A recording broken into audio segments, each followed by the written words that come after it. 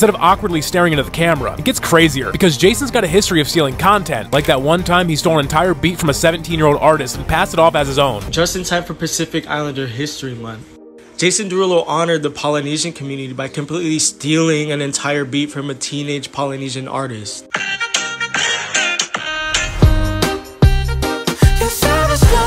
Jason didn't even credit the kid properly, and this whole thing gets worse because if you check his channel, Jason copy pastes pre recorded reaction clips onto every single upload.